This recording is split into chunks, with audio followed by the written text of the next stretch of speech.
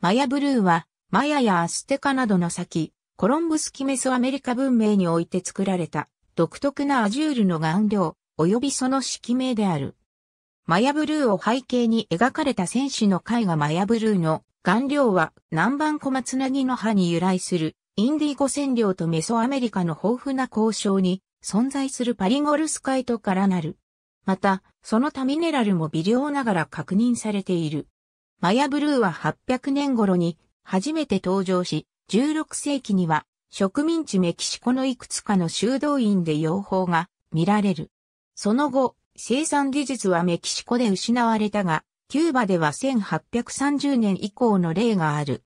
マヤブルーで着彩された絵画は、長い時間の経過と厳しい天候条件をもってしても、色あせないことで知られ、さらに化学溶剤や硝酸などの酸に対する耐性も持つ。